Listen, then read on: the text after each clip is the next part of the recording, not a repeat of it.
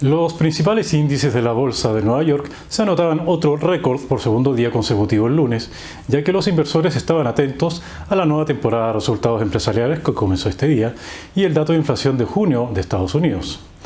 De esta manera, su principal índice, el Dow Jones de Industriales, avanzó un 0,36%, el selectivo Standard Poor's 500 subió un 0,35%, mientras que el Nasdaq, que reúne las principales tecnológicas, avanzó un 0,21%. Segundo día de apertura plana en las plazas europeas el martes, tras los nuevos máximos alcanzados ayer, con el Eurostox 50 subiendo un leve 0,05%. Los inversores siguen atentos a la evolución de la pandemia, que continúa mostrando que está lejos de estar controlada ante el avance de la variable Delta en todo el mundo. Mientras continúan los procesos de vacunación con diferentes ritmos de avance por países, en, Australia está previsto que el cierre de Sydney se extienda unas semanas más, aunque los casos caen en Nueva Gales del Sur, mientras que en Nueva York comienzan a remontar los casos por primera vez en semanas. Por otro lado, se inició la entrega de resultados empresariales, donde en el sector bancario JP Morgan Chase Co. y Goldman Sachs superaron las expectativas, con el mejor trimestre de la historia de JP Morgan al obtener ingresos netos por 11.900 millones de dólares. Goldman Sachs, por su lado, obtuvo ingresos por 15.390 millones de dólares. En Europa, las bolsas cerraron con caídas esta sesión luego del dato de IPC de junio mayor al esperado al registrar un aumento de 5,4% interanual. El IBEX 35 en Madrid perdió un 1,38%, el CAC 40 de París un 0,01%, el DAX de Frankfurt también retrocedió un 0,01%, el FTSE 100 de Londres bajó un 0,01%, mientras que el FTSE MIB de Milán cerró con una caída de un 0,50%. En cuanto al mercado hoy por el lado de los commodities, el precio del petróleo intermedio de Texas WTI cotizó con una subida de un 1,5% hasta los 75,25 dólares el barril.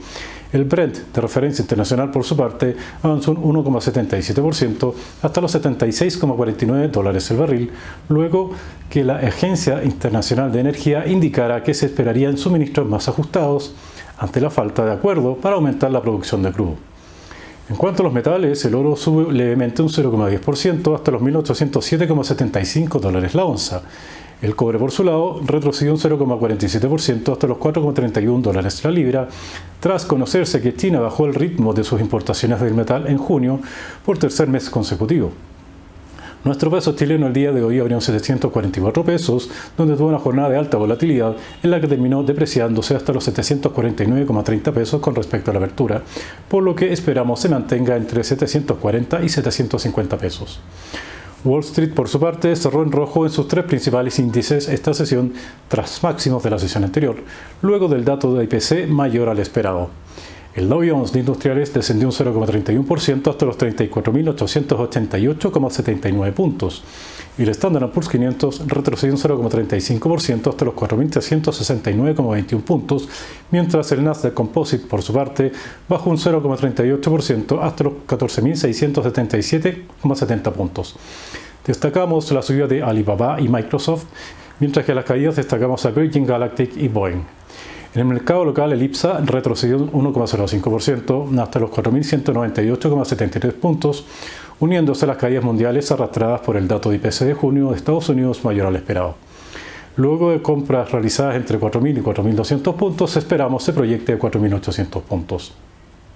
Destacamos la subida de LTM y Enelam, mientras en las caídas a Vapores y Molplaza. Las acciones más transadas del día fueron Vaporis y Falabella con 35,09 y 7,95 mil millones transados respectivamente.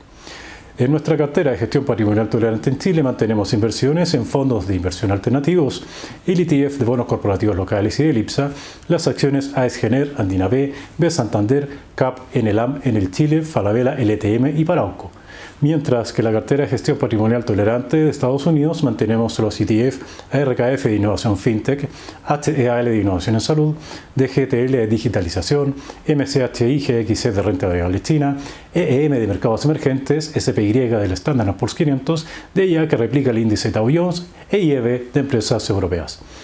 Para más información de este servicio visita nuestra página web www.renta4.cl y contáctanos para agendar una reunión o conversa con tu ejecutivo de inversiones. Mi nombre es Alejandro Rodríguez, gestor de patrimonio. Muy buenas tardes y no olvide suscribirse a nuestro canal para más contenido financiero. Muchas gracias.